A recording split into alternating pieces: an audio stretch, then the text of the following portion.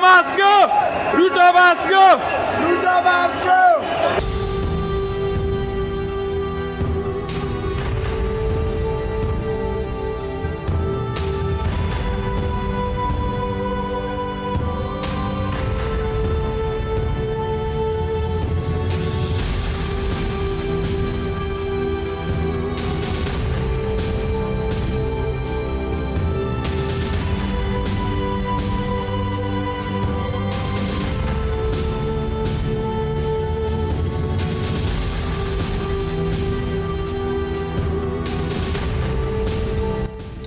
Nkwaniriza nate gwe mukwano gwaffe atugoberera era nga nkujjukiza nti subscribe updates okuva mu ggwanga erya kenya abajasi aba kdf balabiseeko nga bali mu kibuga nairobi.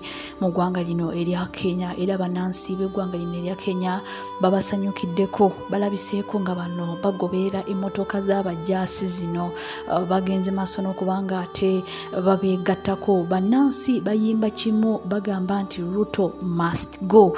Uh, bannansi eggwanga lino erya- kenya beekalakaasa bano nga bawakanya finance bill 2024 era nga omukulembeze w'eggwanga lino erya kenya his excellency samoi william ruto yavuddeyo olunaku olweggulo n'agamba nti tagenda kusayininga biiri eno. Era omukulu ono yagisazizaamu. Wabula bannansi b'eggwanga erya kenya bano bagamba nti pulezidenti tebamwesiga. Essaawa yonna ayinza okwekyusa. Biiru n'ageza mu paliament ate bo ne bagenda maaso n'okuba nga bagiyisa. Kakati bano bagamba nti eyo biiru baagala paliament egisazeemu tebaagala kubanga egenda maaso yadde n'akamu. Kakati biiru eno batadde emisolo ku bintu ebyenjawulo okuli pads okuli emigaati n'ebirala ebyenjawulo era nga bino byandikosa bannansi b'eggwanga erya kenya abakulu bano uh, bagenda maaso n'okuba nga ate beekalakaasa. Bano bagamba nti baagala pulezidenti ruto aveeko era bano bagamba nti ekyamuleeta kyamulemye. Omukulu nateekeddwa genda bannansi bano bagenze maaso n'okuba nga basemberera state house mu ggwanga lino erya kenya.